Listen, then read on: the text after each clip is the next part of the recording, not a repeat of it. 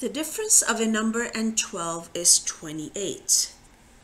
Write an equation that describes the situation, then find the number.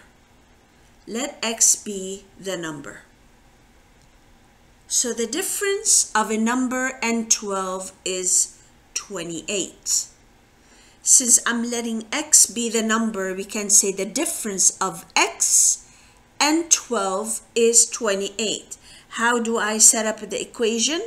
Well, the difference of x and, uh, and 12, that will make it x minus 12 is 28.